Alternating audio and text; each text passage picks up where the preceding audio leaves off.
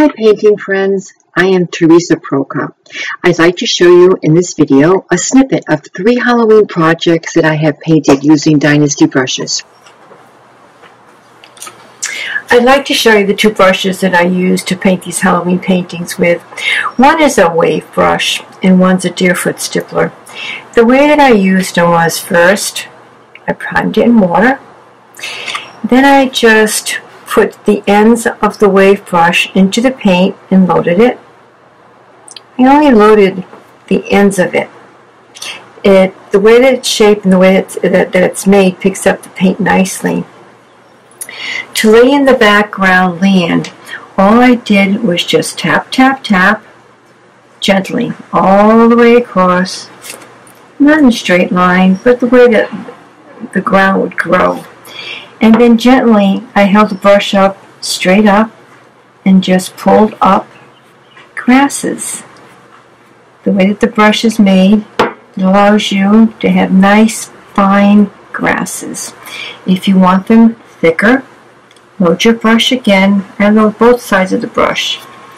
And then just on the edge, just pull them up a little bit more. There's a little more paint in the brush now. I also use this brush to tap in some bushes and trees. To do a pine tree, I just tapped it up to a nice point and then using the corner of the brush in a zigzag motion like the letter Z, I tapped in a pine tree.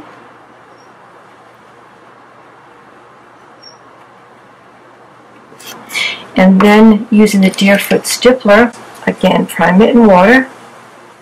The way that it's shaped, I'm going to put paint just on the toe of the brush.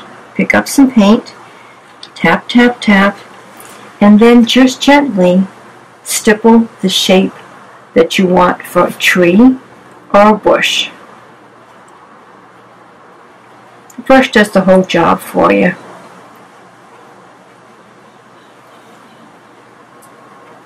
Then you can use a highlighting color to create some highlights and some more shape on these bushes.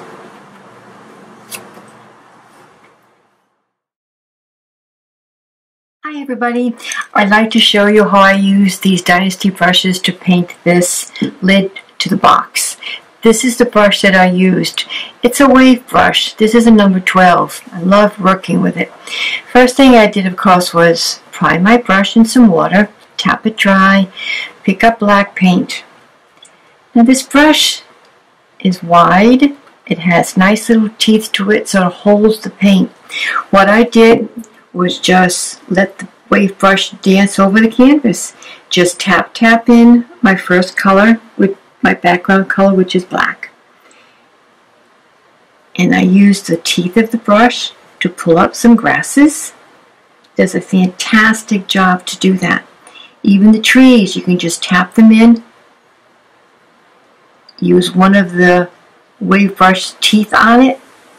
Make some nice little limbs. Tap in some greens. Let the teeth do its job. It's like the brush just wants to do what it wants to do and it does a great job in doing trees, leaves, branches, tall grasses. Also, just let it dance over the canvas. Pick up the paint as you need it. The teeth will hold the paint for you. So you don't have to load it up all the time. At the same time, you can use gently pull up grasses. On this side I did some also. Move some of the orange show through. The black will be your base coat. That'll be your background color. Pick up the paint as you need it. I'm going to work with both the wave brush and the Deerfoot brush to add some highlights to my trees and grasses and bushes. I'm going to do a double load of a darker, dark green and a light green. On one side, I'm going to put the dark green. On the other side, I'm going to put the light green. All I've done is taken the brush and just tap, tap, tap the areas that I want to highlight. Don't lose all your darks when you do this. just tap tap in some nice grassy areas. Pick up the paint as you need it, a dark green and a light green, and tap in a nice highlight.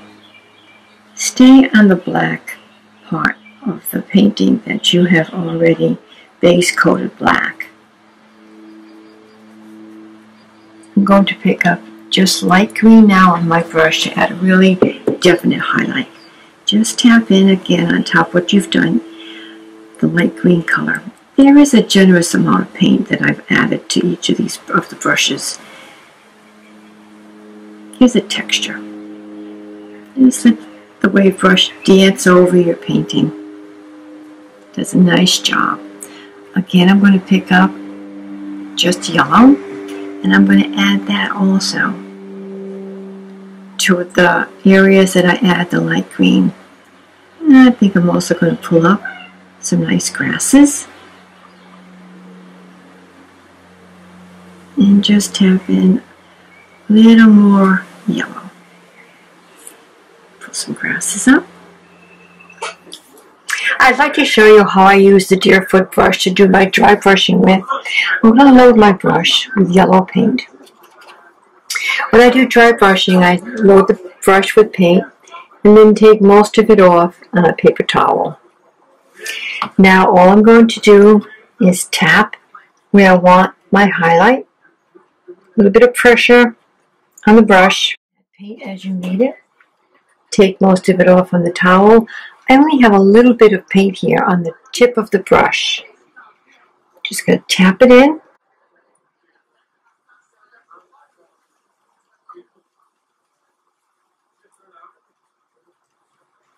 The same thing is done when you do the dry brushing on the pumpkin. Load the brush with the yellow paint, take most of it off, and then I just, again, tap, tap, tap where I want to put my highlight. Brush does beautiful job for this. Just tap tap in the color. I think I'll pick up a little bit and work on these pumpkins.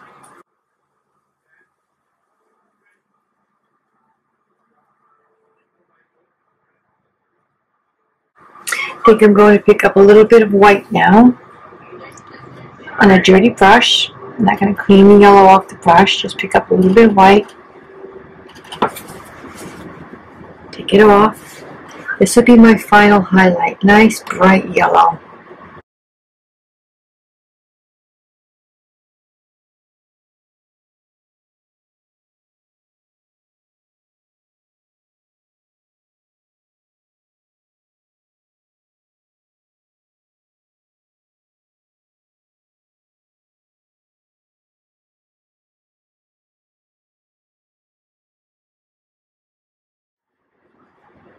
Pick up the paint as you need it. I'm working with a dirty brush. I'm not picking up any other color except white.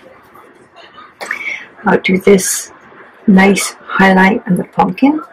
Go back to do my trees.